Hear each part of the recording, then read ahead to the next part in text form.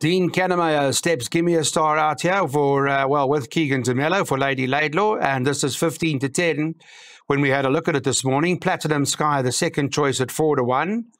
And there's a little bit of money for um, Gareth Source, Gareth Van Zyl's Fight Song, is shortened from 7 to 1 into 6 to 1. Appears like everything else is on the drift. Darren, let's summarise here. It's a 1600 metre. Can we go in with Dean Kannemeyer's horse, or are you are you nervous about Sean Tarry's Platinum Sky? I do believe we can go in with Give Me a Star. He's ahead of the handicapper, and I expect a decent pace in the race, which is going to suit him down to the ground. He'll be flying home late. Uh, Platinum Sky, I'll make the only danger, but he has to give Give Me a Star three kilos, which won't be easy.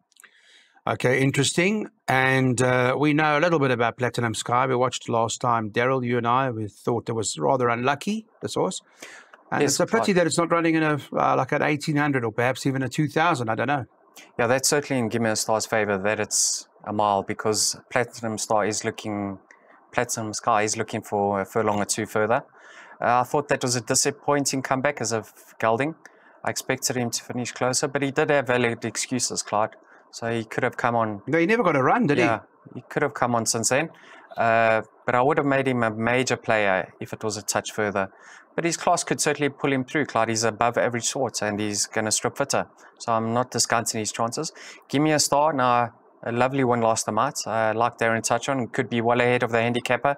I don't think the four pound penalty that he picked up will uh, pose any issues today.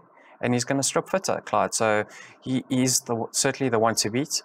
Um, I backed him up with full blast. Now, you can certainly discount his runs on the poly because I do believe he's a, he's a better turf sort. And they now remove the blinkers and put him back over a mile. If you go back a few runs, his best run to date has been over the 1500 at Scottsville. That form line is really holding up strongly, Clyde. There's been several winners from there.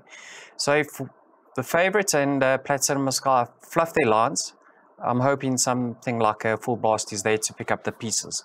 Mm, okay. Interesting. Full blast, maybe. That's a bit of a shooty to follow, but the favourite is clearly the first choice and a good first choice, too. This is our intentions for this race. Here's the tote. We're taking the exactors one, three, and four. That's the principal play out of race six.